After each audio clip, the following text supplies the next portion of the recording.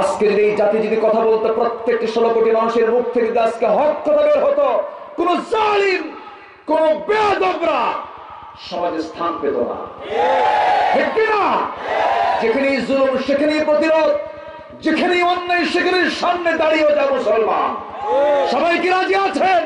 রাজি আছেন কারা কারা? হাত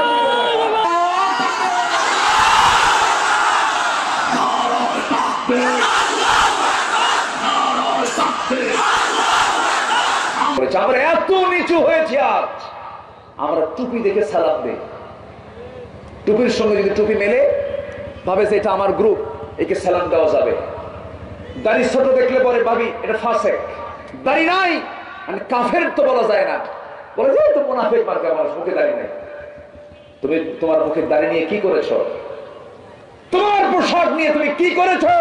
পৃথিবীতে এমন লোক আছে যাদের বাহ্যিক সুরতটা যদি অপছন্দনীয় হলো অমরের মতো। আছে না চলে যান তুরস্কের প্রেসিডেন্টের দিকে। এরদোয়ানের দিকে চলে যান। এরদোয়ানের নাম শুনলে আমেরিকা, ইউরোপ। চিন্তায় হয় না, এটা তো কঠিন মাল। আল্লাহ একবার বলেন। ইতিহাস খুঁজুন ইতিহাস দেখো। একটা ছোট্ট ইতিহাস মনে করল আমার নবীর সময় এক ইহুদি রসুলকে নিয়ে ব্যঙ্গ কবিতা রচনা করল।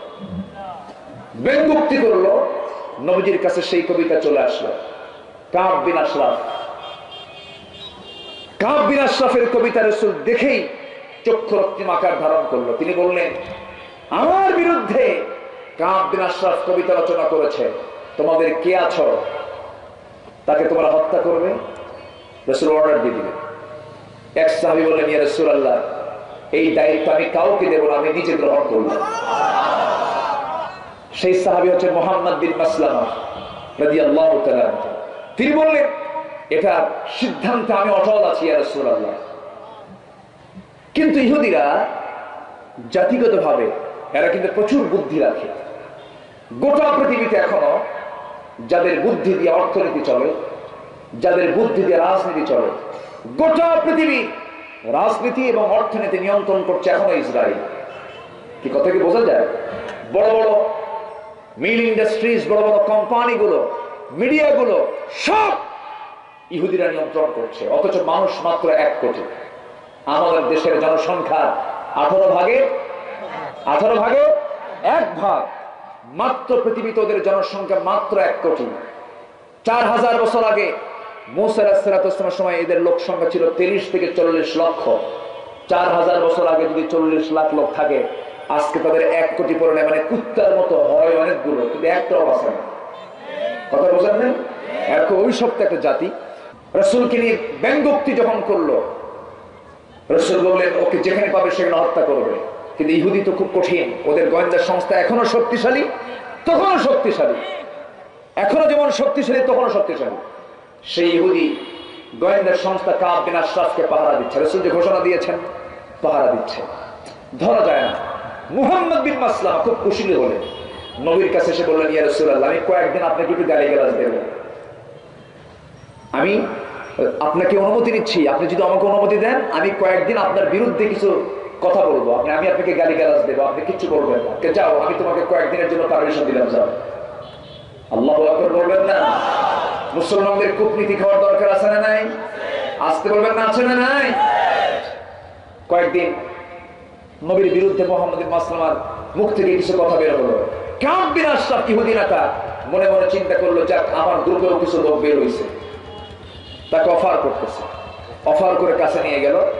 মোহাম্মদ ইসলামা তার সাথে বসিয়ে প্রথম দিনই বলল, দোস্ত সহ তোমার মনে, তোমার মতের সাথে আমার মতের মিল আছে।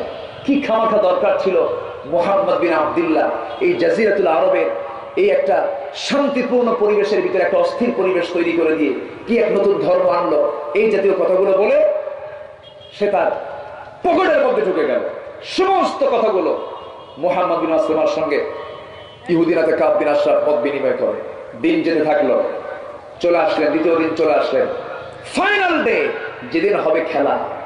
যেদিন হবে কি? খেলা। সেই দিন কি করলেন? মোহাম্মদ মাসলামা তার সমস্ত সাহাবিদের মুসলিম ভাইদেরকে সাথে নিয়ে আসলেন। নিয়ে এসে বললেন, শোনো, আমি আজকে যাব। আমি কামবিন আশরাফকে ডাক দেবো নিস্তারা থেকে। ও থাকে দোতলায়। আমি আস্তে করে যখন ডাক দেবো, সে নিচের দিকে নেমে আসবে। আমাকে সে বিশ্বাস করে নিয়েছে। সে অস্ত্র ছাড়াই আমার সামনে এসে দাঁড়াবে। আমি তাকে, তোমাদের সবার চোখের সামনে আমি তাকে আলিঙ্গন করব। মাথার ঘ্রাণটা নেব। আমি যদি সুযোগ পাই প্রথম ঘ্রাণী প্রথম মাথাটা নিয়েই আমি বটকানে দিয়ে দেবো। তোমরা উপর্যপুরে হামলা করবে, আঘাত করবে। যদি চান্স না পাই, তাহলে দ্বিতীয়বার আবার আমি তাকে গলার মধ্যে আলিঙ্গন করে নিয়ে আমি তার মাথার ঘ্রাণ নেওয়ার ভান করে শক্ত করে মাথার চুলটা এঁটে ধরবো। তোমরা অতর্কিত হামলা করে তাকে দুনিয়া থেকে বিদায় করে দেবে। চলে গেলে। সাহসের দরকার আছে না নাই? আসতে বলবেন না, আছে না নাই? সামনের দিকে চলে গেলেন। একটু বিশৃঙ্খলির পরে মোহাম্মদ বিন মাসলামার জীবনটা শেষ হয়ে যাবে। জীবন বাজিয়ে রেখে নবীর বিরুদ্ধে কটুক্তিকারীর সামনে দাঁড়ায় গেলেন। দাঁড়ায় গিয়ে করলেন কি, মোহাম্মদ বিন মাসলামা? বলতেছে, বন্ধু কাপ তুমি কোথায়? দোতলা থেকে জবাব দিচ্ছে, বন্ধু, মোহাম্মদ, আমি আসতেছি। দেরি করব না, খুব দ্রুত নামতেছি। স্ত্রী ঘর থেকে কাপ দিনার আশ্বাসকে বলতেছে, আমার স্বামী কাপ নিচ থেকে যে লোকটা তোমাকে ডাকি, আমার যতটুকু অনুভূতি কাজ করতেছে, তার ডাকের মধ্যে খুনের গন্ধ পাচ্ছি। চিন্তা করছেন? বউটা টের পেয়ে গেছে। বলতেছে কাপ ও আমার স্ত্রী, তুমি কি মনে করো? মোহাম্মদ বিন মাসলাম তো আমার কাছের মানুষ, আমার বন্ধু মানুষ। সে আমার কোনো ক্ষতি করতে পারবে না, সে আমার কোনো ক্ষতি করবে না।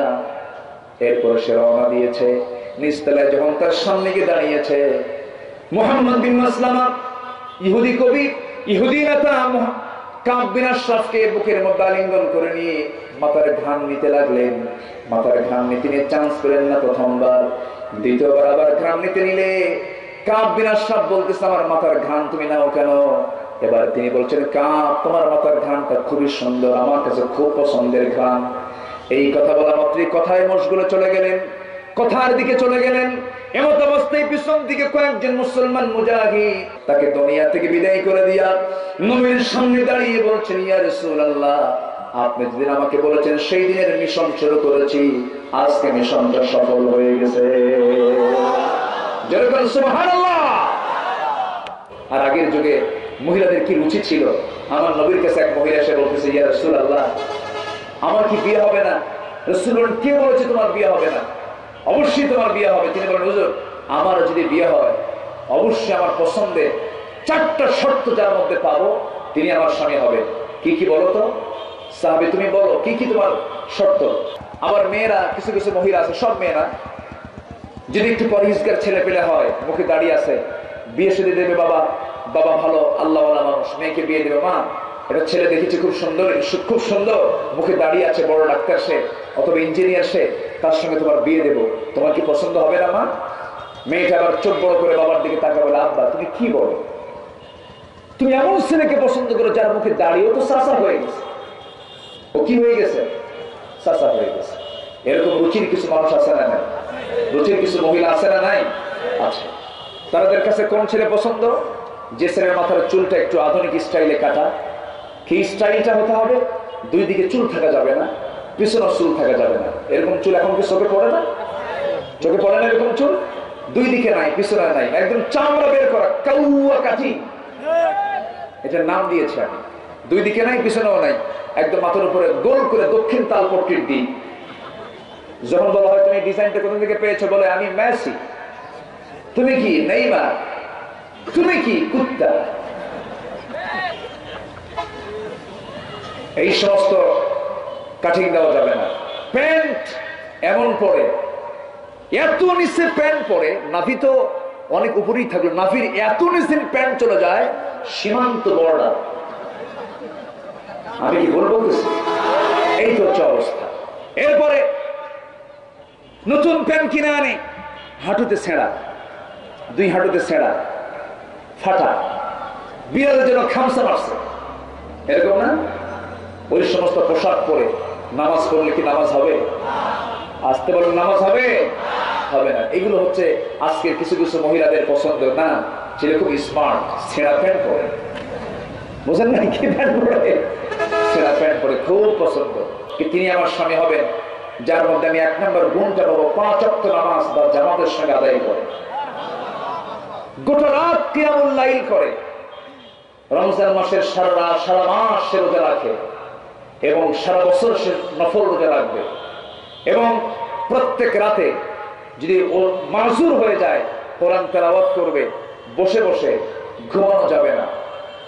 এই জাতীয় শর্ত শুনে রসুল বললেন, মনে মনে চিন্তা করলেন, যে শর্ত দিছে, দিনে রোজা, রাতে নামাজ দোয়ের হকা দেওয়া হবে কখন আমার নবীজি মুসকি মুসকি হাসি মেরে কিচ্ছু বললেন না। বললেন, ঠিক আছে, তুমি যেহেতু বলেছ, আমি দেখি কি করা যায়। আবেগ তো। এক সাহাবিদের মাঝে প্রস্তাব করলেন, এক সাহাবির সামনে দাঁড়ায় বলে, হুজুর, যত শর্ত, সব শর্ত পূরণ করে আমি বিয়ে করব যা যেরকম সুবহানাল্লাহ।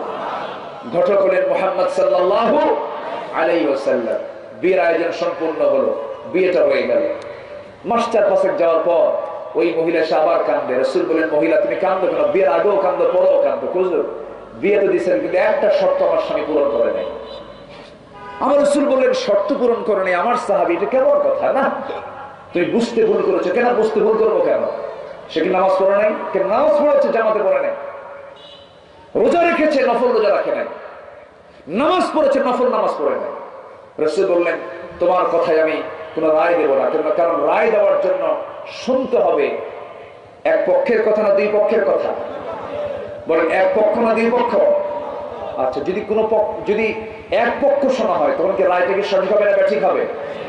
আমাদের প্রেসেন্ট ওয়ার্ল্ডে কোনো কি শুনানি লাগে এখন? কোন শুনানি লাগে? অটো রায়। ঠিক আছে না? ঘুম থেকে উঠি সকালে শুনেছে রায় হয়ে গেছে। ঠিক কিনা কোন রায়টায় কোন সব পক্ষ বিপক্ষ কিছুই লাগে না। রসুল বললেন, না, তোমার স্বামীকে ডেকে আনা। ডেকে আনা হলো। স্বামী স্ত্রীকে সামনে মুখোমুখি করে বলা হলো, রসুল বললেন, এই, তোমার বউ তোমার বিরুদ্ধে এই সমস্ত অভিযোগগুলো করে। এটা কি সত্যি? খুঁজে বুঝতে ভুল করছে। আমি একটা শর্ত ভঙ্গ করি স্বামী স্ত্রীর মধ্যে ভুল বোঝাবুঝি হয় না। দ্বন্দ্ব লাগে না। অনেকে চুপ করেছে মানে লাগি না, সব আমরা ফেরেস বসে আছে লাগে কিনা বলেন? না লাগলে মজা পাবেন কেমনে? লাগলি তো মজা। লাগলি তো একটা আনন্দ, একটা মহব্বত কাজ করে, অভিমান কাজ করে। অনুরাগ কাজ করে যা আমার নবীর পরিবারও ছিল, বলি আলহামদুলিল্লাহ। কিন্তু মাত্রা তিরক্ত না, সীমা ছাড়া না, কিলে কিলি ঘুষে ঘুষি না। কি কথা কি বোঝা গেল? আচ্ছা রসুল বললেন, সাহাবি, তুমি কি ঠিক মতো নামাজ পড়েছ? হ্যাঁ পড়েছি। কি করেছ? কি হয়ে পড়েছো বলো? শুনবেন, আগ্রহ আছে আপনাদের? আমার ভাইয়েরা, ওই সাহাবি বলছেন, ইয়া রাসূলুল্লাহি সে আমার তিনটা প্রায় তিন তিনটা দোষ ধরেছে। আমি নাকি নামাজ পড়ি নাই। কে বলেছে আমি নামাজ পড়ি নাই? নামাজটা পড়েছি। তবে আমি ফজর নামাজ এবং এশার নামাজটা আমি কোনোদিন জামাত ছেড়ে দেই নাই। আপনার বর্ণিত হাদিস, যদি কোনো বান্দা ফজর নামাজ এবং এশার নামাজ যদি বা জামাত আদায় করতে পারে, মহান নামায়, গোটা রাত কিয়ামুল লাইলের সমান সব আমল নামায় দিয়ে দেন। হুজুর, আপনি বলেন, এত বড় একটা অফার পাওয়ার পর রাত জেগে জেগে নামাজ পড়ার কি দরকার? আসতে বলবেন না, সুবহানাল্লাহ। আমার নবীজি মুসকি মুসকি হাসি মারলেন। এরপরে বলছেন ইয়া রাসূলুল্লাহ, ও তো রোজা রাখে নাই। এবার সাহেব বলছেন, ইয়া রাসূলুল্লাহি, আপনি আমার স্ত্রীকে জিজ্ঞাসা করে দেখুন। আমি কিন্তু রমজানের ফরজ রোজাগুলো বাদ দেই নাই। রোজাগুলো অবশ্য অবশ্যই পালন করেছি। তবে নফল রোজা আমি রাখি নাই, তবে সেই জাতীয় নফল রোজাগুলো পালন করেছে আপনার বর্ণিত হাদিস। যে ব্যক্তি রমজান পরবর্তী সওয়াল চাঁদের সুম্মাত বাহু সওয়াল চাঁদের যে ছয়টি নফল রোজা রাখবে, আল্লাহ রাব্বুল আলামিন তার গোটা বছর একটা নফল রোজার সওয়াব তার আমলনামায় দিয়ে দিবেন। হুজুর, আপনি ওকে বলেন, আমি, বলেন তো আমি সেই নফল রোজাগুলো রাখছি কিনা? হ্যাঁ রাখছে। আমার সারা বছর নফল রোজা রাখার কি দরকার? আমার নবীজি মুসকি মুসকি হাসি মারলেন এবার বলছেন ইয়া রাসূলুল্লাহ, সে তো কোরআন তেলাওয়াত করে নাই। রাতের বেলা কোরআন তেলাওয়াত না করে ঘুমিয়ে পড়েছে। এবার সাহাবী বলছেন, স্বামী বলছেন, ইয়া রাসূলুল্লাহ, আমি যে রাত্রি ঘুমিয়ে ঘুমাতে গিয়েছি, আমার নিয়মিত একটা সুন্নত আমল হলো, নিয়মিত রেগুলার আমল হলো, আমি যখন ঘুমাতে যাই, অন্তত তিনটা বার সুরা ইখলাস আমি পড়ি, নিজের বুকের দিকে আমি ফোঁ দেই, নিজের দেহের দিকে আমি ফোঁ দেই। হুজুর, আমি আস্তে আস্তে পড়ি নাই। আমার বউকে সাথে নিয়ে যখন শুয়ে পড়েছি, একই বিছানায় যখন ঘুমাতে গিয়েছি, আমি জোরে জোরে তেলাওয়াত করেছি, সে এটা কান পেতে পেতে শুনেছে আপনি বলেন, সে শুনছে নাকি? হ্যাঁ আমি শুনছি। এবার তিনি বলছেন, ইয়া রাসূলুল্লাহ, আমি প্রত্যেক রাতে আমি তিনবার সূরা ক্লাস করে যখন ঘুমের দিকে চলে গেছি, আপনার বর্ণিত হাদিস যে বান্দা পর পর তিনটে বার সূরা ইখলাস পড়বে, কারণ সূরা ইখলাস হলো কোরআনের তিন ভাগের এক ভাগ। অর্থাৎ তিনবার সূরা ইখলাস পড়লে পরে গোটা কোরআন খতমের সমান সুবহানাল্লাহ রাব্বুল আলামিন দিয়ে দেয়। আমার নবীজি মুস্কি হাসি মেরে ফেললেন। এবার বলছেন, মহিলা, তোমার তিনটা যে অভিযোগ, সব অভিযোগ তো খণ্ডন, তোমার স্বামী করে দিল। সে কোনো ভুল করে নাই। এবার মহিলা মুস্কি মুস্কি হাসি মেরে বলছে আমার স্বামী যে এরকম চারাকটা তো বুঝি নাই। আমার নবীজি হাসলেন স্বামীও হাসে, স্ত্রীও হাসে, দাম্পত্য মানে এই দাম এই- দম্পতি দুজন মুসকে মুসকে হাসি মারলো নবজি তাকে হাসি মুখে তাদেরকে বিদায় দিয়ে দিলেন। দুজন বাড়ির দিকে সন্তুষ্ট চিত্তে বাড়ির দিকে চলে গেল। আমার ওয়াজও শেষ হয়ে গেল। আর কি করি আমরা তো মোটামুটি গবেষণা ভালোই করতেছে মুসলমান। কি গবেষণা? গবেষণা হলো ফরজ নামাজের পরে মনাজাত করব কিনা? আমাদের গবেষণা ভালো আছে না মোটামুটি? আমাদের গবেষণা হলো, রসুল নূরের তৈরি না মাটির তৈরি? আমাদের গবেষণা হলো, তারাবি নামাজ এক রাখাত না তিন রাখাত আমাদের গবেষণা হলো, আর কি? হ্যাঁ? আমি নাস্তিক মনোজরে করো হাত কোথায় বাঁধবো নাবিতে বাঁধবো না বুকে বাঁধবো? এক, মুফতি ফতুয়া দেয় নাবিতে হাত বাঁধা হারাম। আরেক মুফতি ফতুয়া দেয়, বুকে হাত বাঁধা হারাম। তাহলে হারাম কয়টা হলো? দুই জায়গায় তো হারাম হলো, বুকেও হারাম নাবিতেও হারাম। সলিমুদ্দি এখন বাঁধবে কোথায়? সলিমুদ্দি আর বোঝে না। সলিমুদ্দি এখন নিয়ম আল্লাহ আকবার বলে, দুই জায়গা যখন হারাম শুনছে, বুকেও হারাম নাবিতেও হারাম। আল্লাহ আকবার কপালে। কোথায় নিছে? কপালে। তাহলে ফতুয়ার কারণে আমাদের হাত কোথায় গেছে? কপালে। আমাদের গবেষণা নাই আমরা এগুলো নিয়ে ব্যস্ত হয়ে এই ভূখণ্ডের শেষ নবাব ছিলেন কে? সিরাজউদ্দৌলা যখন তাকে হাত পা বেঁধে জনগণের সামনে দিয়ে লর্ড ক্লাইভরা যখন নিয়ে যাচ্ছিল, লক্ষ লক্ষ মানুষ তাকে ধরে নিয়ে যাওয়ার দৃশ্য দিকগুলো দেখতেছিল আর চোখের পানি ফেলে ফেলে কাঁদতেছিল। লর্ড ক্লাইভ মুসকি মুসকি হাসি মেরে বলে হাইরে বোকার দল। ওরা চোখের পানি ফেলে ফেলে কান্দে, সামনে তাকায় তাকায় থাকে লক্ষ লক্ষ মানুষ। সেদিন যদি একটা করে ঢিল যদি মারত এই সাহসটুকু যদি তাদের থাকতো, আজকে ব্রিটিশ দুশো বছর শাসন করার সুযোগ এই জমিনে পায় না। এই চুপ থাকার রেকর্ড আজকে আমাদের এখন না, আগের থেকে আমরা চুপই থাকি। কথা আমরা বলি না। কেন? কি যেন একটা ভয় আমাদের কাজ করে। কি যেন একটা ভীতি কাজ করে আমাদের ভিতরে, না? আল্লাহ বলছেন কথা যদি ঠিক মতো বলতে পারো তুমি কি জানো? তোমার সমস্ত ভুল আমলগুলো আমি সংশোধন করে দেবো? এদিকে আমার কথা না আল্লাহর কথা? আল্লাহর কথা। আল্লাহ রাব্বুল আলামিন বলছেন শোনো ইমানদার কথা বলবে এক জবানে মুনাফিক কথা বলবে দুই জবানে।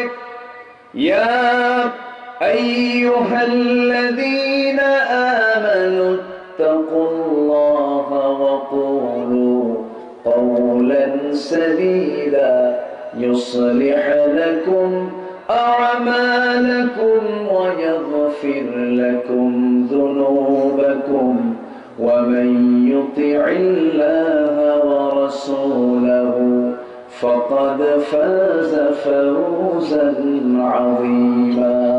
جل الله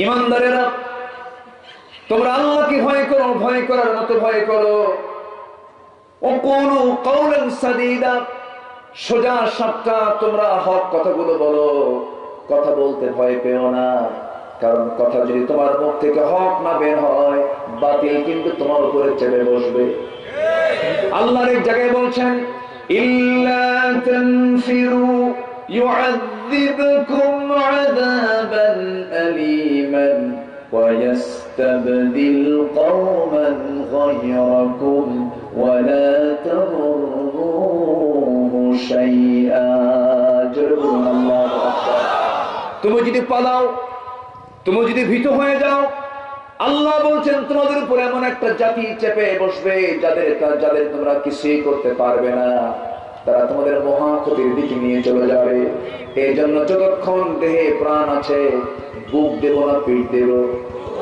আসতে কোন কেন? বুক দেব না, পিঠ দেব।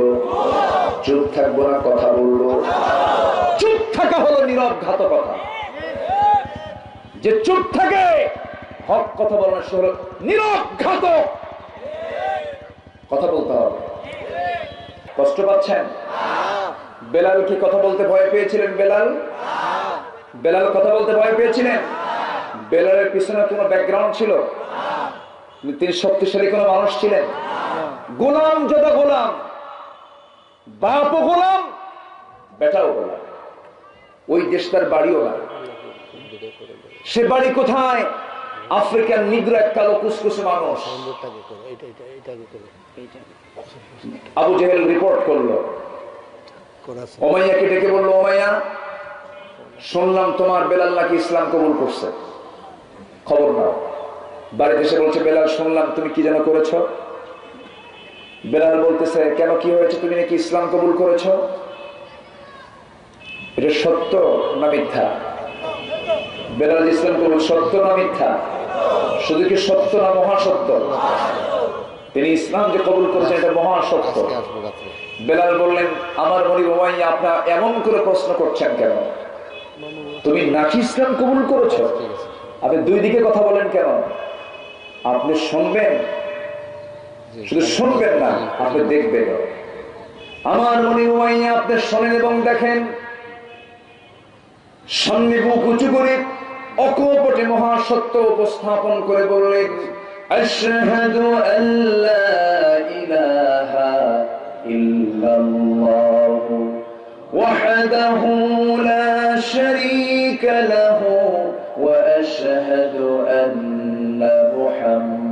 محمدا عبده ورسوله এই মহাসত্য মানে যখন বলে ফেললেন উমাইয়া বলল বেলাল তুই কি জানিস তোর কি অবস্থা হতে পারে আমার হাতে তোর তোর প্রাণ আমার হাতে আমি তো গাছকে নাস্তানাবুদ করে দুনিয়া থেকে চিরতরে বিদায় করে দেব বেলাল মুসকাশি মেরে বললেন ও আমার মনি আমার মৃত্যুর জন্য আমি বিন্দু পরিমাণ ভয় পাই না।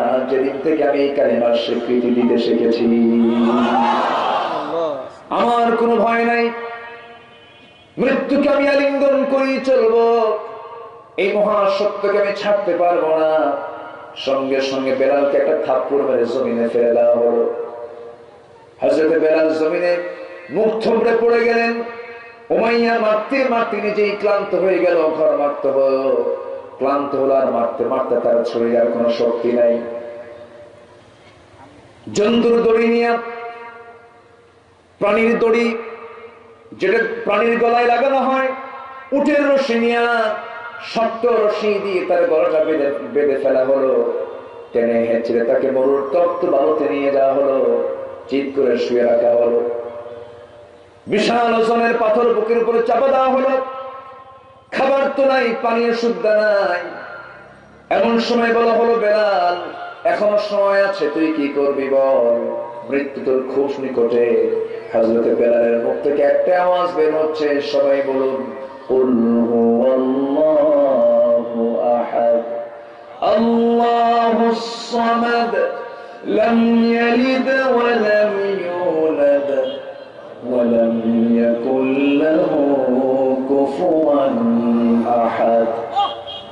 এই যখন বারবার পড়ছিলেন, এই পড়ার সঙ্গে সঙ্গে এই আওয়াজ শোনার সঙ্গে সঙ্গেই উমাইয়ের মেজাজ আরও দ্বিগুণ দ্বিগুণ ডাবল ডাবল হয়ে গেল। এক পর্যায়ে সে বুকের উপরে বসে তার বাম হাতটা বেলালের মুখের ভিতরে ঢুকায় দিয়া টান মেরে তার জিব্বা বাইরে টেনে বের করে বাবলা গাছের কাঁটা, শক্ত কাঁটা তার জিব্বার মধ্যে ঢুকায় দিল। ঢুকায় দিয়ে ফিঙ্গি দিয়ে যখন রক্ত বের হওয়া শুরু হয়ে গেল বেলাল এখন তুই আল্লাহর জিকির করবি কেমনে জিব্বা তো অচল করে রেখেছি সঙ্গে সঙ্গে বেলাল নখটা উঁচু করে সারলাম গুলো উঁচু করে বলছো মাইয়া আমার জিব্বা বন্ধ করলে হবে কি আমার আল্লাহর নাম আমার দিলের মধ্যে আমি অঙ্কন করে নিয়েছি وأما من خاف مقام ربه ونهى النفس عن الهوى فإن الجنة هي المأوى যার দিনের মাকামে আল্লাহর ভয়টা জাগ্রত হয়ে যাবে তার ঠিকানা হয়ে যাবে জান্নাতের মাওয়া এই জন্য আমাদের দিলের মধ্যে আমরা ভয় রাখবো কার ভয়ের বাসা বাঁধবো কার আল্লাহর ভয়টা যখন আমাদের বাসা বাঁধা হয়ে যাবে আমাদের দিলের মধ্যে পৃথিবীর কোনো ভয় সেই জায়গায় স্থান করতে পারবে না। আমার দিলের মধ্যে একমাত্র ভয় স্থান পাবে কার? আল্লাহর ভয়টা স্থান পেয়ে যাবে। আল্লাহর হুকুমগুলো আমার স্থান পেয়ে যাবে। শিখিয়ে দিয়েছেন, বান্দা যারা পারেন সঙ্গে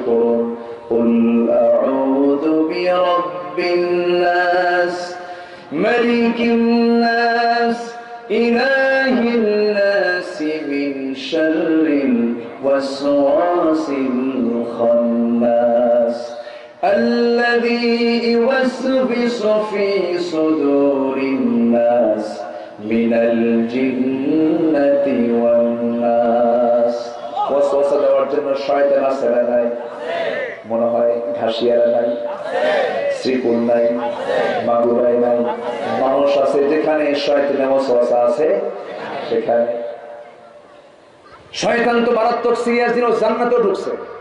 ঢোকে নাই? আমার বাপ ছিলেন জান্নাতে। আমার মাকে নিয়ে থাকলেন।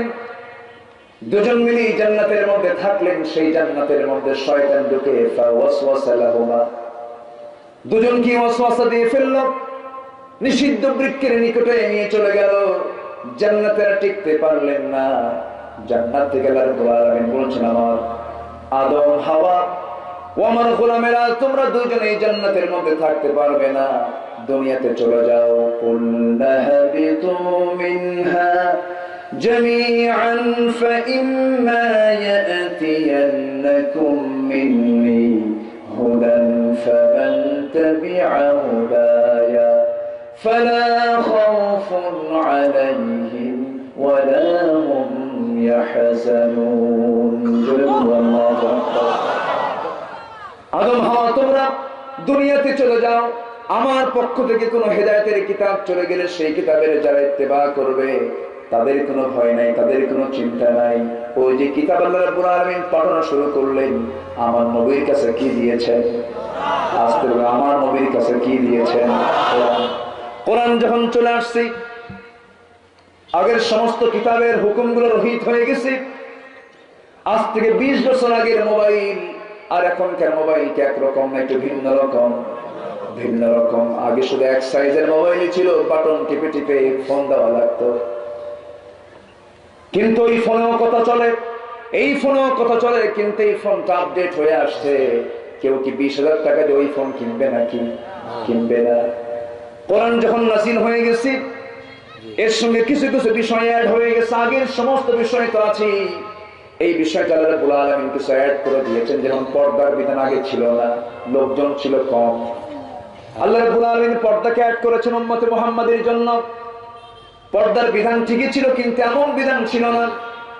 কারা কারা হারাম, কারা কারা হালাল, সর্বশেষ সিলেকশন দিয়েছেন, নির্দিষ্ট করে দিয়েছেন।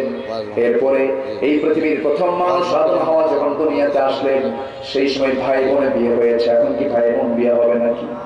আসতে কোন ভাই বোন বিয়ে হবে হবে। মাগরিবে পরে আমার ভাইয়েরা জি জি জি কিন্তু মূল বক্তব্য কিন্তু দুই রকম ছিল না ওই তাওরাত ওই ইনজিল ওই জাবুর সহ আদমের কাছ থেকে আদমের কাছ থেকে নিয়ে আমার নবী পর্যন্ত যত কিতাব এসেছে সমস্ত কিতাবের মূল বক্তব্য একটাই সেটা হলো ولقد بعثنا في كل أمة رسولا أن اعبدوا الله واجتنبوا الطاغوت জোরে বলি আল্লাহু আকবার সমস্ত পয়গম্বরদের দাওয়াত ছিল একটাই তোমরা কেবলমাত্র শুধুমাত্র ইবাদত করবে কার আসতে বলবেন না কার এক জায়গায় না সব জায়গায় ইসলামের নক্কাটার বিধান আছে না নাই রাষ্ট্রের বিধান নাই আছে আমার দেশে কিছু আলেম আছে কিছু আলেম ওলামাও আছে।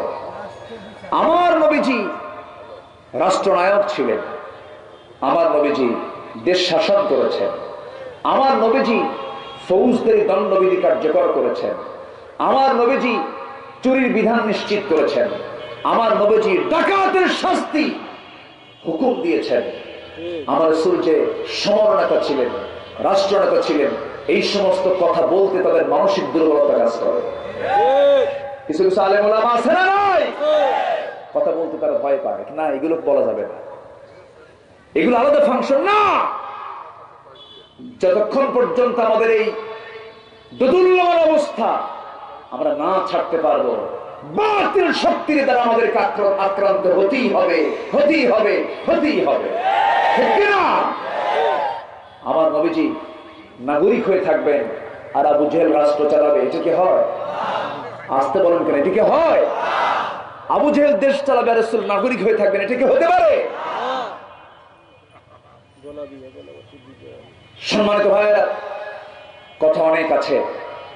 আস্তে আস্তে করে বলছি, রসুল কি ছিলেন? একটু পরে আসতেছে রসুলের সাবজেক্টও আসতেছে। ওল কোরআন হাকিম, কোরআন হলো বিজ্ঞানময় একটি কিতাব। জোরে বলে সুবহান কোরআন এমন একটি কিতাব, কোরআনকে সর্বশ্রেষ্ঠ কিতাব বললে ভুল হবে। কোরআনকে আপনি যদি সর্বশ্রেষ্ঠ কিতাব বলেন, তাহলে ভুল হবে এটা। হয়তো অনেকে চিন্তা করছেন, হুজুর, আপনি এটা কি বলবেন? তো সর্বশ্রেষ্ঠ না। কোরআনকে আপনি অন্য কিতাবের সঙ্গে তুলনা করবেন কেন? এই কিতাবকে আপনি অন্য কিতাবের সঙ্গে তুলনা করাই তো ঠিক না। সর্বশ্রেষ্ঠ মানে কি? সবার মধ্যে শ্রেষ্ঠ। সবার মধ্যে মানে কি? সবগুলো কিতাব আছে। এর মধ্যে শ্রেষ্ঠ হলো কোরআন। না। কোরআন সর্বশ্রেষ্ঠ বলার দরকার নাই। কোরআনই একমাত্র কিতাব।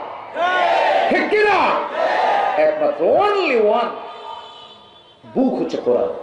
অনলি ওয়ান বুক পৃথিবীতে এই কিতাবের সঙ্গে সমকক্ষতা রাখতে পারে এমন কোন কিতাব পৃথিবীতে দ্বিতীয়টা আসতে দ্বিতীয়টা ঠিক এমনই ভাবে ইসলাম সর্বশ্রেষ্ঠ বলার কি দরকার?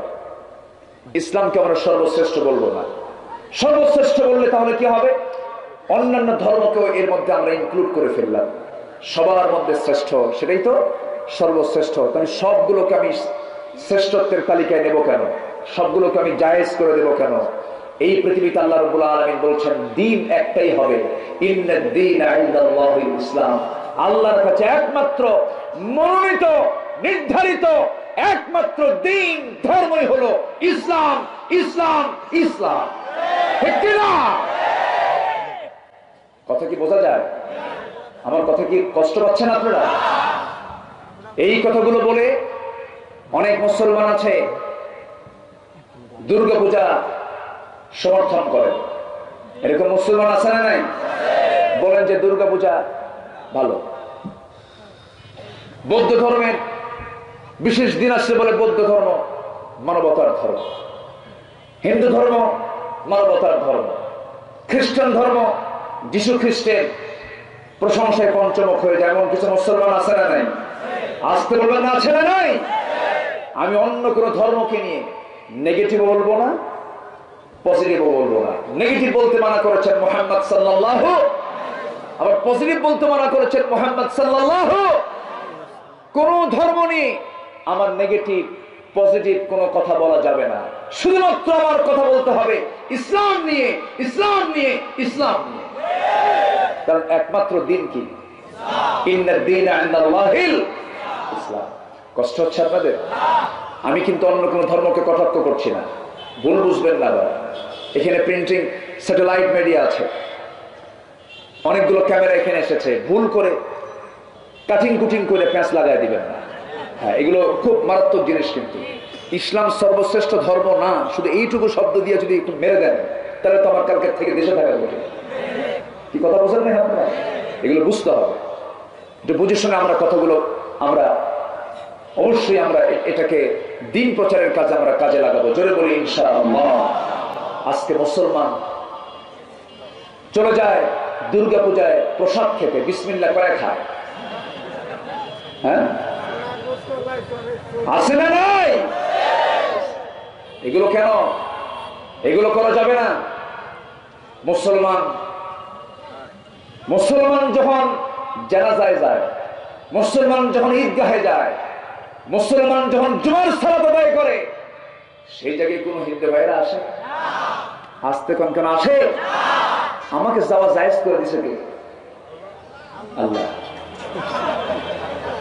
যাওয়া জায়েজ করে দিছে আল্লাহ।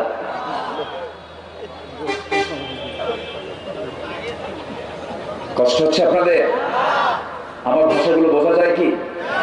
এত সুন্দর মানুষ, দিনের বেলা কত কর্মব্যস্ত মানুষ, আর দিনের বেলা সব কাজ ফেলে বসে আছে জান্নাতের বাগানে। আলহামদুলিল্লাহ। আলহামদুলিল্লাহ। কোরআন কি সাধারণ কোনো বই, একটা বিজ্ঞানময় এটা বিজ্ঞানময় বই বলা বলা যাবে। এতে কোনো সন্দেহ? ইয়াসিন অল কোরআনিল হাকিম। বিজ্ঞান বলল, সূর্য না পৃথিবী ঘরে? পৃথিবী না সূর্য ঘরে এখন দেখি ওদের মাথায় ঘরে। কোরআন সূরা ইয়াসিনের মধ্যে আল্লাহ রাব্বুল আলামিন বলছেন লাশ-শামসু ইয়ানবাগি লাহা আন তুদরিকাল কমারা ওয়ালাল লাইলু সাবিকুন নাহার وكل في فلك يسبحون জোরে বলুন আল্লাহু আকবার সূর্যের ক্ষমতা নাই চন্দ্রকে টপকিয়ে যেতে পারে চন্দ্রেরও ক্ষমতা নাই সূর্যকে টপকিয়ে যেতে পারে অকুল্লুন ফি ফালাকি ইয়াসবাহুন প্রত্যেক সৃষ্টি তার নিজ নিজ কক্ষপথে পরিভ্রমণ করছে মানে সূর্য ঘরে চন্দ্র ঘরে পৃথিবীও ঘরে জুড়ে বলে সুবহানাল্লাহ আল্লাহর এক জায়গায় বলছেন هو الذي خلق الليل والنهار والشمس والقمر كل في فلك يسبحون جربني الله أكبر কত সুন্দর স্পষ্ট কথা কত আগে আল্লাহ জানিয়ে দিলেন, ও বান্দা সব তোর জন্য আমি ওপেন করে দিয়েছি, বান্দা। এই কিতাবটা তুমি ফলো করো, গবেষক হয়ে যাও। আল্লাহ রাব্বুল আলামিন বলেন, আফালা ইয়াতাদাব্বারুনা আল-কুরআন আম আলা কুলুবিন আকফালুহা? মানুষের কি হলো? কোরআন নিয়ে তারা গবেষণা করে না, তাদের অন্তর কি তারা আবদ্ধ? তারা মারা আছে নাকি? তারা কেন গবেষণা করে না? গবেষক হতে বলছেন কে? আসতে বলেন, গবেষক হতে বলছেন কে? আমরা গবেষণা করব, আল্লাহর কালাম জোরে বলি ইনশাআল্লাহ। আরও জোরে বলি ইনশাআল্লাহ। আমার ভাইয়েরা, আমার বন্ধুগণ, এই যে নখগুলো দেখতেছেন এই নখগুলো আল্লাহ রাব্বুল আলামিন বানিয়ে দিয়েছেন। হাতের পাঁচটা আঙ্গুল ফিঙ্গারপ্রিন্ট দিয়েছেন আল্লাহ রাব্বুল আলামিন। এই যে ফিঙ্গারপ্রিন্ট আজকে, একশো দেড়শো বছর আগের থেকে হয়তো বা ফিঙ্গারপ্রিন্টের চলন চালুটা আছে। হয়তো বিজ্ঞান আবিষ্কার করতে পেরেছে, কিন্তু এই ফিঙ্গারপ্রিন্ট আঙ্গুলের সাপটা আজকে থেকে দেড় হাজার বছর আগে আল্লাহ রসুল কাবার আলমিন জানাইয়া দিলেন। আল্লাহ রাব্বুল আলামিন বলেন أيحسب الإنسان أن لن نجمع عظامه بلى قادرين على أن نسوي بنانه বান্দারে তুমি মনে করো আমি তোমাকে একত্রিত করে আবার পুনরুচ্ছিত করতে পারবো না তুমি কি জানো না আমি আল্লাহ এমন রব, তোমার নখের অগ্রভাগকে আমি আল্লাহ স্বতন্ত্র করে বানিয়ে দিয়েছি। তোমার নখের আঙ্গুলের সঙ্গে পৃথিবীর কোন নখের আঙ্গুল মিলবে না, জোরে বলি সুবহানাল্লাহ। চিন্তা যায়? কত আগের কথা আল্লাহ পাক এগুলো জানিয়ে দিয়েছেন। আজকে ইমিগ্রেশন সব অচল হয়ে পড়ে থাকতো, যদি সব নখ একরকম থাকতো। ইমিগ্রেশন থাকতোই না, সব লোক এক সলির মধ্যে, কোলের মধ্যে সব সমান। জমি দলিল নাই। কি কথা বোঝেন নাই? জমি দলিল হতো না। আল্লাহ পাক নখগুলোকে স্বতন্ত্র করে শুধু নখ না, চোখও ভিন্ন, চোখটাও ভিন্ন, চোখ আই প্রিন্ট মেয়েরা মুখ বন্ধ রেখে চলতে পারবে, তাদের মুখ খোলা, খুলে তাদের চেনার দরকার নাই। অনেকে বলে যে ইসলাম কি? আধুনিক না। একটা মানুষের মুখ বন্ধ রাখলে মানুষকে চেনা যায় না, সমস্যা। কিন্তু না, মানুষকে চেনার দরকার নাই, মানুষের চোখটাই আনাফ চোখের প্রিন্ট দেখলেই তার সবকিছু দেখা হয়ে যাচ্ছে। আল্লাহ কত ফতু আমার ইসলামের বিরুদ্ধে, বোঝেন না? এখন আই প্রিন্ট হলেই আনাফ চোখের আই প্রিন্ট নিয়ে নিল ব্যাস এটা অমুকের চোখ। একটা চোখের সঙ্গে আরেকটা চোখের মিল নাই একটা নখের সঙ্গে একটা নখের মিল নাই। জিব্বার সঙ্গে জিব্বার ভিতরে যে সাপ আছে এই জিব্বার সাপের সঙ্গে অন্য কোনো জিব্বার সাপের কোনো মিল নাই। একটু আসতে পারে সুবহান আল্লাহ আর জোরে বলে সুবহান আল্লাহ চামড়ার সঙ্গে চামড়ার মিল নাই। চামড়ার সঙ্গে চামড়ার মিল নাই। বাবার চামড়া দিয়ে ছেলের চামড়া দিয়ে কাজ হবে না। বাবা দিয়ে ছেলের হবে না ছেলে দিয়ে বাবার হবে না অ্যাক্সিডেন্ট করেছেন, গালের গোস্ত উঠে গেছে। এখন এই জায়গায় কিছু গোস্ত বসাতে হবে সার্জারি হবে অপারেশন হবে, মিলাইয়ে দেবে গোস্ত উঠে গেছে অ্যাক্সিডেন্ট এখন এই গোস্ত এবং এই চামড়া কোন জায়গা থেকে আমদানি করবেন? বাবার কাছ থেকে? ছেলের কাছ থেকে? অন্য ছেলে মদির কাছ থেকে? কারও থেকে এটা ম্যাচিং হবে না। আল্লাহ পাক এক্সট্রা করে ইনসাইডে বডির ইনসাইডে আল্লাহ পাক কিছু এক্সট্রা গোস্ত চামড়া রেখে দিয়েছেন। একটু আসতে পারো সুবাহ আল্লাহ সেই জায়গায় অপারেশন করে সেখান থেকে নিয়ে এখানে লাগাই দিয়ে সার্জারি করলে হয়ে যায়। তাহলে কে দিলেন? আসতে বলবেন না, কে দিলেন? কণ্ঠ, কণ্ঠের সঙ্গে কণ্ঠের মিল আছে? পৃথিবীর কোন মানুষের কণ্ঠের সঙ্গে কোন কণ্ঠের মিল আছে? যদি মিল হয়ে যেত? যদি মিল হতো রাত তিনটার দিকে আপনার বাড়িতে গিয়ে বলতো, সখিনা, দরজা খুলো তো কি কথা কি বোঝার নাকি সুবিধা, অসুবিধা? অসুবিধা হতো। কি আল্লাহ পাক, কি দিয়ে দিয়েছেন? কণ্ঠ দিয়ে কথা বলা মাত্রই ধরা খেয়ে যাবে। এটা তো শরীর মধ্যে করে মধ্যে। ফয়সালা? নিপুণ সৃষ্টি কারিগর কে? আল্লাহ বলছেন, বান্দা, এত সূক্ষ্ম করে তোকে বানিয়েছি। হিসাব নেব সূক্ষ্ম করে। ভালো করে আমল কর। আমরা গোলামি করব কার? আপনি হচ্ছেন রসুলদের অন্তর্ভুক্ত। আমার রসুল কি প্রথম নবীনের শেষ নবী? প্রথম নবীনের শেষ নবী?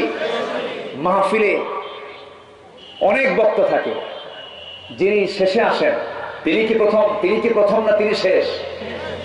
তিনি না, তিনি যদিও শেষ মেহমান, কিন্তু মূলত তিনি কি? প্রথম।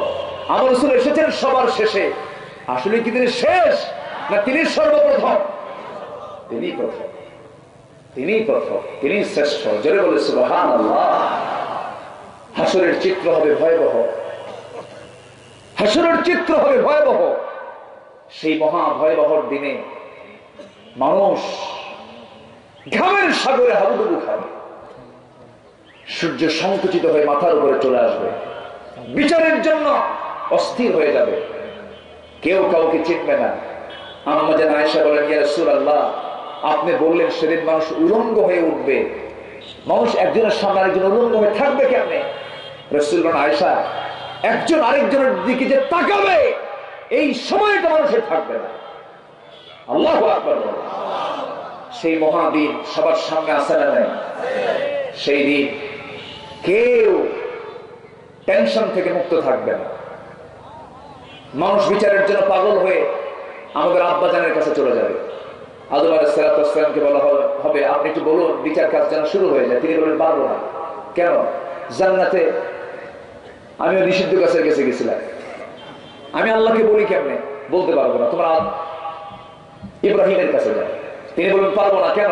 দুনিয়াতে আমি তিনটে হেকমত পূর্ণ মিথ্যা কথা বলেছিলাম। আমি আল্লাহকে বলতে পারব না। চলে যাও মুসার কাছে। উনিও বলবেন, পারব না। চলে যাও ঈসার কাছে। তিনিও বলবেন, পারব না। সবাই মিলে এসে দেখবে আমার নবজি মাকামে মাহমুদের শেষদার মধ্যে পড়ে থাকবে। সবাই এসে রসুলের কাছে ধারণা দেবে। আমার নবীজি শেষদা থেকে মাথা উঠাবেন না। আমার আল্লাহর সঙ্গে সঙ্গে বলবেন, আমার হাবিব শেষদা থেকে মাথা ওঠান আপনি আজকে যার সুপারিশ করবেন, তার সুপারিশ আমি আল্লাহ গ্রহণ করে নেব। আমার নবীজি মকামে মাহমুদ থেকে তিনি উঠে দাঁড়াবেন। নবীজি সাহাবিরা কাল হাসরের ময়দানে তোমরা যদি আমাকে কোথাও না পাও, তিন জায়গায় যে কোনো একটা জায়গায় তোমরা আমাকে পাবে। নাম্বার ওয়ান তোমরা পাবে আমাকে মিজানের পাল্লায়। সেখানে যদি না পাও, তোমরা আমাকে পাবে পুলসেরাতে পুলসেরাতেও যদি না পাও, তোমরা আমাকে অবশ্য অবশ্যই পেয়ে যাবে হাউজে কাউসারে। হাউজে কাউসার আমার সঙ্গে তোমার যদি সাক্ষাৎ হয়ে যায় বান্দা, তাহলে কি হবে? সেই জান্নাতের হাউজে কাউসারের পানিটা পান করার জন্য জান্নাতের পিয়ালা দিয়া হাউজে কাউসার থেকে আমি পানি তুলবো। তোমাকে পান, পানি সেই পানি পান করায় দেব। জন্মের মতো তৃষ্ণা নিবারণ হয়ে যাবে, আমি তুমি দুজন মিলে জান্নাতের মধ্যে প্রবেশ করব সে নবীর প্রয়োজন আছে না সেই নবীর তো প্রয়োজন আছে। সেই নবী ছাড়া আমার কোনো উপায় নাই সে নবীর আদর্শ ছাড়া আমি আল্লাহর ভালোবাসা পাবো না আল্লাহকে সরাসরি পাওয়া যাবে না কোনো বান্দা আল্লাহকে সরাসরি পাবে না আল্লাহ শর্ত জড়িয়ে দিয়েছেন ইন কুনতুম তুহিব্বুনাল্লাহ ফাত্তাবিউনি ইউহিব্বুকুমুল্লাহ ويغفر لكم ذنوبكم والله غفور رحيم جل الله أكبر कि मोहम्मद से वफा तूने तो हम तेरे है ये है जहाँ चीज है क्या लौह कलम तेरे है মোহাম্মদকে যদি ভালোবাসো ভালোবাসা পাবে আমার লৌহ কলম লুবিবে তোমরা মাটির পৃথিবী সেকোন ছাড় দুনিয়াও পেয়ে যাবে, আখরাতও পেয়ে যাবে। শর্ত হলো জীবনের চাইতে বেশি আমার রসুলকে ভালোবাসতে হবে যদি বলি সুবহানাল্লাহ। তো এই হুদি তারা এতটাই অগ্রগামী, অ্যাডভান্স। এক কোটি হুদির ভিতরে পঁয়তাল্লিশ লক্ষই তারা বিজ্ঞানী। আর মুসলমানদের অবস্থা কি? প্রতি দশ লক্ষে মাত্র একশো ছাপ্পান্ন জন চিকিৎসক, গবেষক এগুলো আছে। একশো ছাপ্পান্ন জন। খ্রিস্টান সহ গোটা পৃথিবীতে আছে অন্যান্য ধর্মের প্রতি দশ লাখে, জাপান বলেন, কোরিয়া বলেন, চার থেকে পাঁচ হাজার। তাদের গবেষক, চিকিৎসক এগুলো আছে। তাহলে মুসলমান এখনও এগিয়ে না পিছিয়ে? এগিয়ে না পিছিয়ে? পিছিয়ে। এখন ইহুদিরা সমস্ত প্রযুক্তি, উন্নত প্রযুক্তিগুলো ইহুদিরাই কন্ট্রোল করছে, সবকিছু নিয়ন্ত্রণ তারা করছে। অথচ সব হাতে ছিল মুসলমানের। সব হাতে ছিল কাদের? মুসলমান। আমরা এগিয়ে যাব সামনের দিকে সকল দ্বন্দ্ব, ভেদাভেদ বলে জোরে বলি ইনশা আল্লাহ বলি ইনশা আল্লাহ এই বিশাল আকাশ একদিন থাকবে না। সব ফেটে ফেটে পড়বে। সূর্য সংকুচিত হয়ে যাবে। তারকাগুলো সিটকে সিটকে পড়বে। এগুলো কি আমার কথা না আল্লাহর কথা আল্লাহ রাব্বুল আলামিন বলেন إذا السماء انفطرت وإذا الكواكب انتثرت إذا الشمس كورت وإذا النجوم انكدرت إذا سلسلت الأرض زلزالها وأخرجت الأرض أثقالها وقال الإنسان ما لها আসমান ফেটে ফেটে পড়বে সূর্য সংকুচিত হয়ে যাবে তারকাগুলো সিটকে সিটকে পড়বে জমিন প্রকম্পিত হয়ে যাবে জমিন তার ভিতরের সমস্ত কিছু বের করে দেবে মানুষ বলবে এত কিছু স্বপ্ন তৈরি করলাম সমস্ত স্বপ্ন তো আজকে সব মাটির সঙ্গে মিশে গেল কোনো কিছুই থাকবে না সব শেষ হয়ে যাবে শুধুমাত্র কেবলমাত্র যিনি ঠিক থেকে যাবেন তিনি কে কুল্লু মান আলাইহা ফান ويبقى وجه ربك ذو الجلال والإكرام ঠোঁটবিনি এবিনি আমার সঙ্গে বলুন فبأي آلاء ربكما تكذبان দুনিয়ার সব কিছু ফানা ফানা হয়ে যাবে সব কিছু ধ্বংস হয়ে যাবে ধ্বংসযজ্ঞে রূপান্তরিত হবে পরিণত হবে শুধুমাত্র যিনি ঠিক থাকবেন, তিনি আমাকে এবং তার কালানো পুরানো ঠিক থেকে যাবে জোরে বলে সুবহানাল্লাহ। কোরআন কি ধ্বংস হবে? কোরআন তো কোনো সৃষ্টি না, কোরআন কোনো মখলুক না। কোরআন কোন ব্যক্তি দ্বারা এটা রচিত নয়। পৃথিবীর কেউ এটা রচনা করেনি। এটার একমাত্র অথা এটা সম্পূর্ণ কথা। কার কথা? আসতে বলবেন না, কার কথা? আল্লাহর কথা। সম্মানিত ভাইয়েরা, সেই কালামের রব্বানি, গুরুত্বপূর্ণ সুরা আমি, সুরা ইয়াসিনটা আমি শুরুতে কিছু আয়াত তেলাওয়াত করেছি। গোটা সুরার ভিতরে আল্লাহ রাব্বুল আলমী সায়েন্স নিয়ে কথা বলেছেন। সৌর জগৎ নিয়ে কথা বলেছেন। আখেরাত নিয়ে কথা বলেছেন, কেয়ামত নিয়ে কথা বলেছেন। অনেক সাবজেক্টের সমন্বয় এই সুরাটি। আল্লাহ রাব্বুল আলামিন আগে কোরআনের পরিচয়টা দিয়েছেন। এই সুরার শুরুতে আগে বলেছেন, কোরআনটা কি? কোরআন হলো বিজ্ঞানময় একটি কিতাব। একটু জোরে বলে সুবহান আল্লাহ কোরআন কি কিতাব? জোরে বলুন। বিজ্ঞান ছাড়া, এখান থেকে বলা যাচ্ছে, বিজ্ঞান ছাড়া সবকিছু অন্ধ।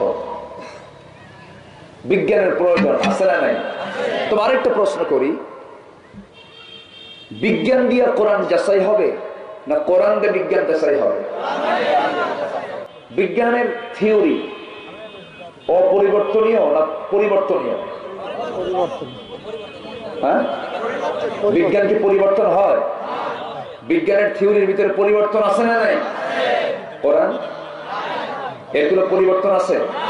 যা ছিল, তাই আছে। কেয়ামত পর্যন্ত তাই থাকবে। এটা কখনো নির্মূল হবে না। এবং ভাগ্যিস বিজ্ঞান এসেছিল বলে কোরআনটা চেনা আর বান্দার জন্য সহজ হয়ে গেছে। জোরে বলি সুবহান আল্লাহ আগে বলতে হুজুররা গল্প করে, আমল নামার ডান হাতে দেবে আর বাম হাতে দেবে। এত বড় খাতা, এতগুলো খাতা নিয়ে হাসরের মাদের উঠবে কেমনে বান্দা এগুলো প্রশ্ন করো তাজগুলি এখন সব সত্যের রূপ নিয়েছে। গোটা পৃথিবীর বায়োডাটা। একটা মানুষের লাইফ স্টাইল ছোট্ট একটা চিপ একটা মেমোরি কার্ডের মধ্যে তুলে দেওয়া সম্ভব কিনা বলেন? আমল নামার ডানে অথবা বামে? এরকম করে অনেক কিছু ইজি করে দিয়েছে আজকে বিজ্ঞান। তবে এটা মাথায় ভাববো যে বিজ্ঞান ভুল করতে পারে, গবেষণায় ভুল আসতে পারে, কিন্তু কোরআনের কোনো ভুল কেউ প্রমাণ করতে পারবে ইয়াসিন, এই সমস্ত আয়তের অর্থ আমরা কেউ জানি না। মূলত, আল্লাহ আলাম। এটা কে জানেন? আল্লাহ জানেন। এটা একটা চ্যালেঞ্জ এটা কি? চ্যালেঞ্জ এত ভাষাবিদ দেখেন না। কিছু কিছু লোক আছে, মানুষ বাংলা ভাষাভাষী কিন্তু ইংলিশ ছাড়া কথা কয় না। ইংলিশ কোনো সরি। কথা বলেন না। মানে একটু ভাষা বেশি জানলে এটা প্রাউড নিয়ে আসে। এত ভাষাভাষী মানুষ, পৃথিবীর কত ভাষাবিদ আছে, আল্লাহ পাক সমস্ত ভাষাবিদের মুখে তালা মেরে বলে দিলেন। এই যে আয়াতগুলো দিলাম, এগুলোর অর্থ বের করো। পৃথিবীর কেউ বের করতে পারেনি, পারবেও না। জোরে বলে সুবহান এগুলো রহস্য কার জানা? আল্লাহ এগুলো হলো আয়াতে মুতাশাবিহাত হুরুফে মুকাত্তাআত বিচ্ছিন্ন কিছু বর্ণমালা দিয়ে সমস্ত আয়াত আল্লাহ রচনা করেছেন।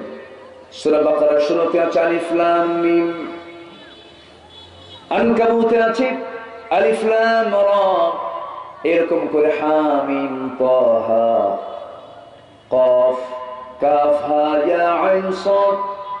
এই সমস্ত আয়াতের পৃথিবীর কোনো মানুষ অর্থ বের করতে পারবে না। বড় একটা চ্যালেঞ্জ দিয়ে বললেন, শোনো, এরপর আমি আরেকটা বিষয় তোমাদেরকে জানিয়ে দিচ্ছি, সেটা হলো, কোরআন কিন্তু শুধু সাধারণ কোন ধর্মীয় গ্রন্থ নয়, কোরআন হচ্ছে একটা বিজ্ঞানময় কিতাব, জোরে বলি কোরআন হলো বিজ্ঞানময় একটি কিতাব। বিশেষ জ্ঞান যার মধ্যে আছে। যার মধ্যে কোনো কিছু বাদ পড়েনি। সায়েন্সের আড়াই থেকে তিনশো আয়াত শুধু সায়েন্স নিয়ে আলোচনা, যেখানে ফিজিক্স, কেমিস্ট্রি, বায়োলজি, জুওলজি সহ সায়েন্সের সমস্ত বিষয় আল্লাহ পাক এই কিতাবের মধ্যে টাচ করেছেন। আবার শুধু আমি বলতে পারব না যে এটা ফিজিক্সের কিতাব, এটাও বলা মুশকিল। আবার শুধু বলতে পারব না, ইতিহা- ইতিহাসের কিতাব, তাও বলা মুশকিল। এটা এমন একটা কিতাব, যা পৃথিবীর সমস্ত জ্ঞানের মূল নির্যাস আল্লাহ এর মধ্যে রেখে দিয়েছেন। সম্মানিত ভাইয়েরা, আজকে বিজ্ঞানের যে চরম উৎকর্ষ সাধন হয়েছে, চরম উৎকর্ষ সাধনের পিছনে সমস্ত তথ্যগুলো যে পেয়েছে তারা, সব তথ্যগুলোর মূল উৎস হলো কোরআন। কোরআন থেকে চুরি করেছে। কারণ এখন বিজ্ঞান কিছু কিছু বিষয় আবিষ্কার করেছে। যেরকম আবিষ্কার করেছে, চাঁদের নিজস্ব কোনো আলো নেই। এটিকে আজ থেকে তিনশো বছর আগের লোক জানতো? জানতো না। চাঁদের নিজস্ব কোনো আলো নেই, এটি কিন্তু জানতো না। অথচ আল্লাহ রাব্বুল আলামিন কোরআন নাজিল করেছেন কত আগে? কত কত বছর আগে বলেন? দেড় হাজার বছর আগে।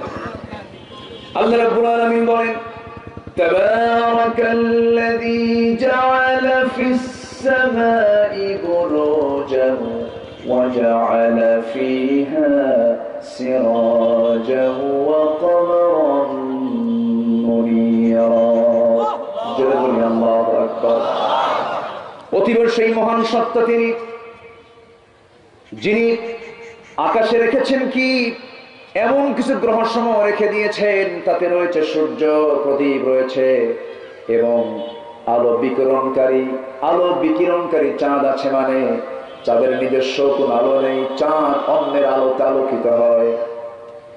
এই যে আলো বিকিরণকারী চাঁদ আছে, এই যে তথ্যটা অসিরাজ কামারা মনিয়ারা এই তথ্যটা কোরআন কত আগে দিয়ে দিল?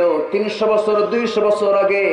এই তথ্যটা যদিও আমরা পেয়েছি, কিন্তু এই তথ্যটা আমরা পেলাম, মূলত কোন কিতাব থেকে পেয়েছি।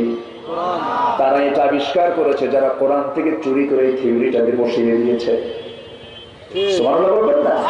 সব কোরআন থেকে ধার করে নেওয়া। আমি আজকে যদি ওল কোরআনিল হাকিম এর উপরে যদি একটা আলোচনা করতে যাই, আমার মোটামুটি সাত থেকে আট ঘণ্টা সময় লাগে। লাগতে থাক। লাগুক। চলে বলি ইনশাআল্লাহ। এই বছর না হলে তো অন্য সময় যদি সুযোগ হয় বলতে পারব তো তাই না? সম্মানিত ভাইয়েরা সম্মানিত উপস্থিতি। এরপরে আমরা বহুল আলোচিত একটা বিষয় আমরা জানি সেটা হলো চন্দ্র সূর্য। পৃথিবী ঘোরে না সূর্য ঘোরে। সূর্য ঘোরে না পৃথিবী ঘোরে। এটা নিয়ে একটা জল্পনা কল্পনা আছে না নাই? আসতে বলবেন না, আছে না নাই? একবার প্রমাণ হলো, পৃথিবী না সূর্য ঘোরে। আবার বলল, না, সূর্য না পৃথিবী ঘোরে, এখন ওদের মাথায় ঘোরে। ওদের থিওরির পরিবর্তনের শেষ নাই। আমি দিনের বেলা এই সাবজেক্টে কেন নিয়েছি? দিনের বেলা কারও মাথায় ঘুম নাই এখন। একটু বুঝ- বুঝতে সহজ হবে। এই জন্য একটু কঠিন সাবজেক্ট আমি নিয়েছি আজকে। হয়তো এই আলোচনার মধ্যে একটু রস কম পাবেন, কিন্তু একটু বোঝার দরকার আছে। আমরা ভাববো না ইউরোপ আমেরিকার সমস্ত জ্ঞান বিজ্ঞানের মূল উৎস না। সমস্ত জ্ঞান বিজ্ঞানে বিজ্ঞানের যে সূত্র, এই বিজ্ঞানের সূত্রে প্রথম, প্রাথমিক অবদান হলো মুসলমানদের, আলহামদুলিল্লাহ মুসলমানরা প্রথম এই অবদানটা রেখেছে। কিন্তু মুসলমান যখন তাদের কর্তৃত্ব, তাদের ক্ষমতা, তাদের স্থায়িত্ব, তাদের মুলুকিয়াত, তাদের রাজত্ব যখনই হাতছাড়া করে ফেলেছে, সেই সময় সব কিছু দখলে চলে গেছে ওদের হাতে। ওদের হাতে সব এগুলো চলে গেছে। রসায়ন নিয়ে যদি আপনি কথা বলেন, রসায়নের জনক বলা হয় জাবির ইবনে হাইয়ানকে ভূগোলবিদের নাম যদি আসে, বেরোনির নামটা নিতে হবে। আধুনিক চিকিৎসা বিজ্ঞান নিয়ে আপনি যদি কথা বলেন, অবশ্যই চলে আসবে ইবনে সিনার নামটা। ঠিক কিনা আচ্ছা। হৃদযন্ত্র চলাচলের আবিষ্কারক বলা হয় ইবনুল নাফিসকে। বীজগণিত, যেটা অ্যালজাবরা। অ্যালজাবরা যেটা।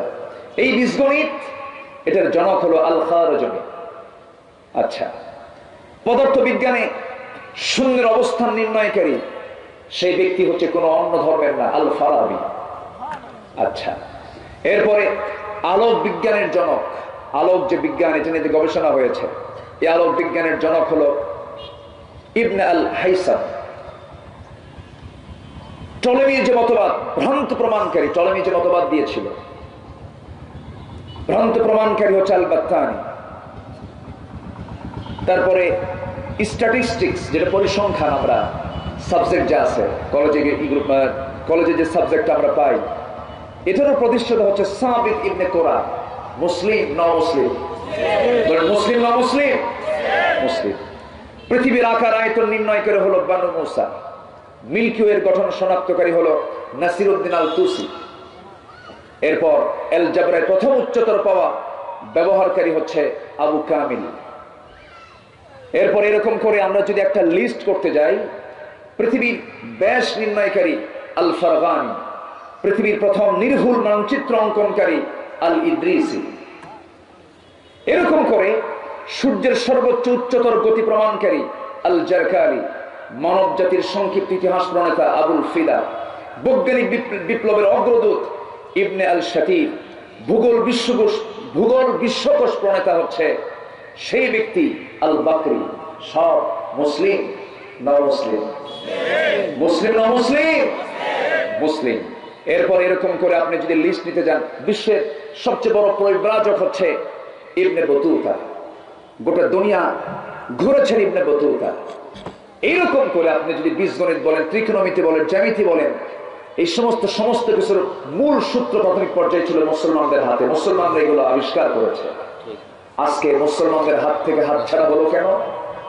মুসলমান যেদিন থেকে কোরআনকে ছেড়েছে ইসলামকে ছেড়ে দিয়েছে তাহজিব তামাদ্দুনকে ছেড়ে দিয়া ভ্যালেন্টাইনের মতো এপ্রিলের মতো থার্টি ফার্স্ট নাইটের মতো জাহালাতকে যখন মুসলমানরা গ্রহণ করে নিয়েছে। ঠিক কিনা? আজকে কি? অনেকক্ষণ থেকে তো ইয়ে আজকে কয় তারিখ? দেখতে পারি চোদ্দ তারিখ। চোদ্দই ফেব্রুয়ারি। নাম কি? ভ্যালেন্টাইন্স ডে এটাই তো এখন গোটা পৃথিবীতে এটা এখন আজকের দিন এটাই প্রচার হচ্ছে ভ্যালেন্টাইন্স ডে আচ্ছা ভালোবাসা দিবস যদি হয়, তাহলে ভ্যালেন্টাইন আসলে লাভ ডে হতো। ঠিক আছে না? বিশ্ব ভালোবাসা world love day. World love day না দিয়া নাম দিল ভ্যালেন্টাইন্স ডে ভ্যালেন্টাইন একটা ব্যক্তির নাম। ভ্যালেন্টাইন একটা ব্যক্তির নামে কেন এই দিবসটা পালন হলো? এখানে অবশ্যই কথা আছে না নাই। সে ব্যক্তি কি মুসলিম? মানে মুসলিম? না অমুসলিম? অমুসলিম। তাহলে অমুসলিমকে আমি কেন স্মরণ করব? সে আমার কেন মডেল হবে? এবং সেটাকে সে এমন একজন ব্যক্তি তার ইতিহাস যদি আপনারা পড়েন থুতু নিক্ষেপ ছাড়া কিছুই পাবেন না। নোংরামি করে ধরা পড়েছিল। জেলখানায় ঢোকানো হয়েছিল। জেলখানার মধ্যে সে প্রেম করে বেরিয়েছে। তার প্রেমকে পবিত্র আখ্যা দিয়ে তার অনুসারীরা তার নামে দিনটা বের করল ভ্যালেন্টাইন্স ডে। সেটা মুসলমান পালন করে। কিছু মুসলমান আছে না নাই? আসতে বলবেন না, আছে না নাই? আমাদেরকে ফলো করবে গোটা পৃথিবী। আমরা কেন তাদেরকে ফলো করব? আমরা তো সেই নবীর উম্মত। যে নবীর চারিত্রিক সনদ পৃথিবীর কেউ দেয়নি। আমার সেই নবীর চারিত্রিক সনদ দিয়েছেন আরসের মালিক। আরসের মালিক? আল্লাহ। আমাদের সবই তো আছে। আমাদের রবকে। আসতে বলবেন, আমাদের রবকে? আমাদের নেতাকে। বলেন। আমাদের নেতাকে? মোহাম্মদ সাল্লাল্লাহু। আমাদের দল কি? আরও জোরে। আরও জোরে। আরও জোরে। এই তিনটি জায়গায় যারা ভাগ বসাবে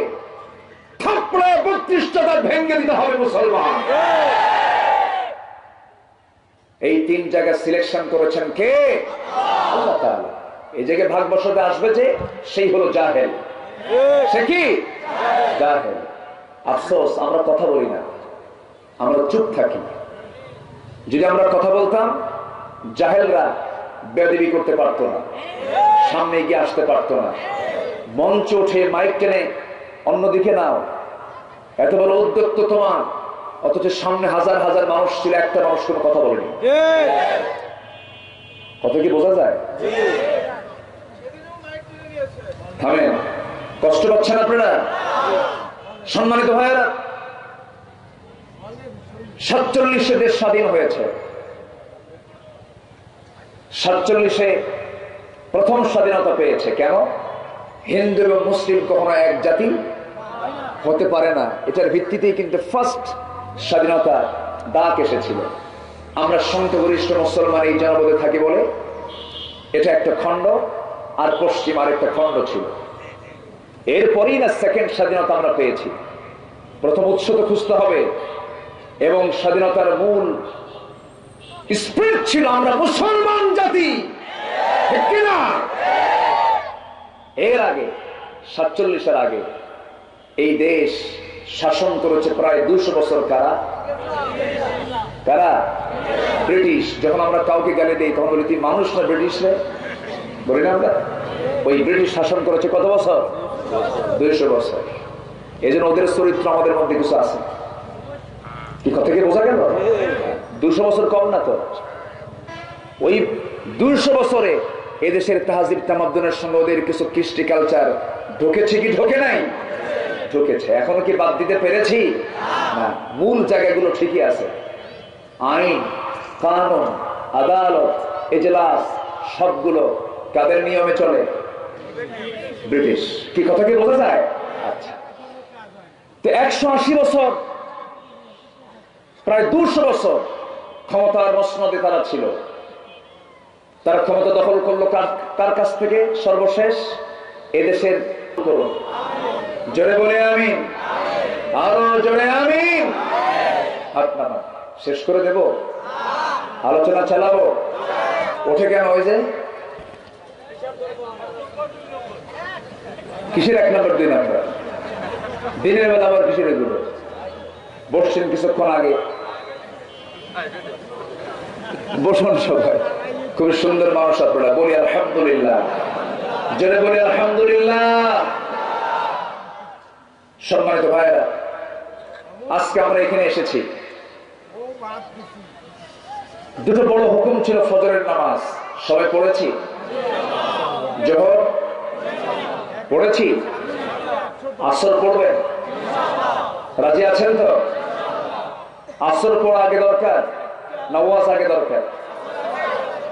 আসরের দরকার আছে না নাই? বলে আসছেন আজান হবে না তো না? ও মহিলারা আসছে। অনেক মহিলারা আসছে। মা আসছে মাহফিলে। কই? পাশে আছে। বলি আলহামদুলিল্লাহ। জেনে বলি আলহামদুলিল্লাহ। মাদের হাতে কি আজকে গোলাপ ফুল আছে? আজকে যে কত কত নারীর ইজ্জত যে যাবে আজকে। এই দিন তারাই পালন করে। যারা চরিত্রহীন লম্পট তারাই। কিনা? টিভি খুললেই ভাষার মাস, মাতৃভাষা। টিভি খুললে কি? মাতৃভাষা। আর ফেসবুক খুললেই ভালোবাসা। এখন আমি এই মাসকে লক্ষ্য করে বলি, ফেব্রুয়ারি তুমি আসলে কার? মাতৃভাষার না ভালোবাসা?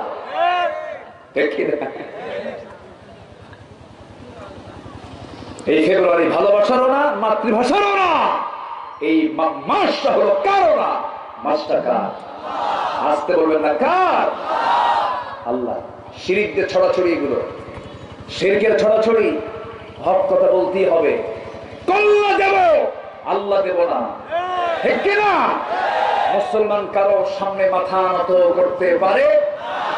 ফুল, পবিত্র জিনিস, ফুলের গন্ধে। আল্লাহর পরিচয় আছে না নাই? ফলের স্বাদে আল্লাহর গন্ধ আল্লাহর পরিচয় আছে না নাই? ফুলের গন্ধে ফলের স্বাদে খাবার পরিচয় পাওয়া যায় কার? অতএব সেই ফুল ঘ্রাণ নিয়ে জেকের করব কার? ধন্যবাদ দেবো কাকে? শুক্রিয়া আদায় করব কার? আল্লাহ তাআলা। কোন কবরে, কোন মাজারে, কোন স্মৃতি স্তম্ভে কোন জায়গায় ফুল দেওয়া যাবে? না। যদি কোনো কবরে ফুল দেওয়া যায়, তাহলে পৃথিবীর সমস্ত ফুলগুলো গিয়ে জমা হতো আমার নবীর কবরে? একটা ফুল ফুলকে সেখানে পাওয়া যায়? পাওয়া যায়। মুরব্বীকে মুরব্বীকে কষ্ট দিয়ে না, থাক, শুধু ওনাকে দমায় রাখেন উনি অসুস্থ মানুষ। আজকে এটা আরও আগের থেকে খেয়াল করা লাগতো আচ্ছা। উনি আমার প্রত্যেকটা কথার লোকমা দিচ্ছেন এই লোকমা শুনে শুনে আমার লস করতে হচ্ছে। কিন্তু উনি তো মানে প্রবলেম আছে একটু। আল্লাহ, তুমি তাকে সুস্থ করো। যেটা বলি, আল্লাহ আমি আপনি চুপ থাকেন। কোনো কথা বলা যাবে না। আপনি চুপচাপ থাকেন। সম্মানিত ভাই, আমার দিকে তাকান। কষ্ট পাচ্ছেন আপনারা? তাহলে সিরকির কাছে যাওয়া যাবে না। আলা সিরাতিন মুস্তাকিম। আমরা টিকে থাকব সিরাতুল মুস্তাকিমের উপরে। সিরাতুল মুস্তাকিম দিয়ে আমাকে জান্নাত পেতে হবে। সিরাতুল মুস্তাকিমটা কি? আমরা যে আল্লাহকে বলেছি, ইহদিনা সিরাতাল মুস্তাকিম। হে আল্লাহ তাআলা, আমাদেরকে সিরাতুল মুস্তাকিমের পথ দেখিয়ে দাও। সিরাতুল মুস্তাকিমটা কি? এটার তাফসীর আবার সূরা ইয়াসিনের মধ্যে আছে। আল্লাহ রাব্বুল আলামিন বলেন, তোমরা সিরাতুল মুস্তাকিমকে জেনে নাও। ওয়া আনি আবুদুনি হাদা।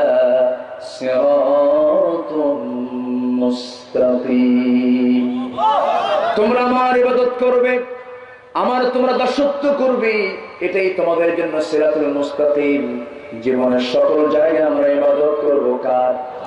হুকুম মেনে চলবো কার? নামাজটা পড়ব কয়ক্ত একা না জামাতে? মনোযোগে মনোযোগে? বুঝে না না বুঝে, জেনে না না জেনে। কিন্তু অধিকাংশ মুসল্লি আজকে জেনে পড়ে না না জেনে পড়ে। না জেনে পড়ে, এই জন্য সমাজের সুদের পরিমাণ কমছে না, বাড়ছে। কমছে না, বাড়ছে। সুদ খেলে লাভ না লস কে কইছে লস সুদ খেলে লাভ না লস সত্যি কি লস লস যদি হয়ে থাকে তো কমে না তো বাড়তেই থাকে। অথচ সুদের সর্বনিম্ন গুণা হলো নিজের মার সঙ্গে জানা করা। ডাক্তারের কাছে চলে গেলে রাতের বেলা ঘন ঘন পেশাব হয়।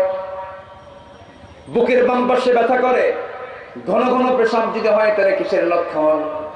ডায়াবেটিসের লক্ষণ। বুকের বাম পাশে ঘন ঘন ব্যথা হলে কিসের লক্ষণ? হাড়ের সমস্যা। ডাক্তারের কাছে গিয়ে বলছে, ডাক্তার আমার তো এই দুটো সমস্যা হয়ে গেছে।